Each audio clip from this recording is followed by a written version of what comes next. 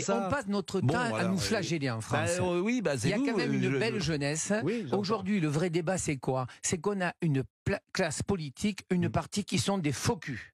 Ah, Voilà, je le dis et je l'assume. D'accord? Des noms. être plus clair. Des noms. être plus clair. Des Enfin, noms. faire de la politique, Monsieur de Macron. la chair. Monsieur Mais Macron, Monsieur Macron, ça fait six ans qu'il fait le maximum. Bon, Après, est-ce qu'il s'entoure mais alors qui est faux cul? Mais moi, je veux dire, mais une partie de la classe Qui politique. Parce que Eh ben, vous-même euh, regardez, donnez des noms, puisque Je autrement- vous ai mené un cadeau, Pascal. Je veux dire, vous, Pro. vous êtes, vous Regardez êtes le le premier cadeau. cul si vous Rega- dites pas qui est cul. Le cadeau. Qui est cul C'est Eh quoi ben, le, le cadeau, je vais vous le faire lire. Amendement du groupe euh, Rassemblement National. Parce que vous êtes de qui Renaissance, demande, quand même. Oui, et qui demande que les entreprises de moins de 11 salariés, on ne vérifie pas les sans-papiers. Ça s'appelle être faux cul. Et ces mêmes gens, la semaine prochaine, ils vont dire Vignal nous emmerde avec ça. Macron parce qu'effectivement. Donnez-moi ça, on va et appeler. voilà. la- Alors, on va appeler le Rassemblement national tout de suite.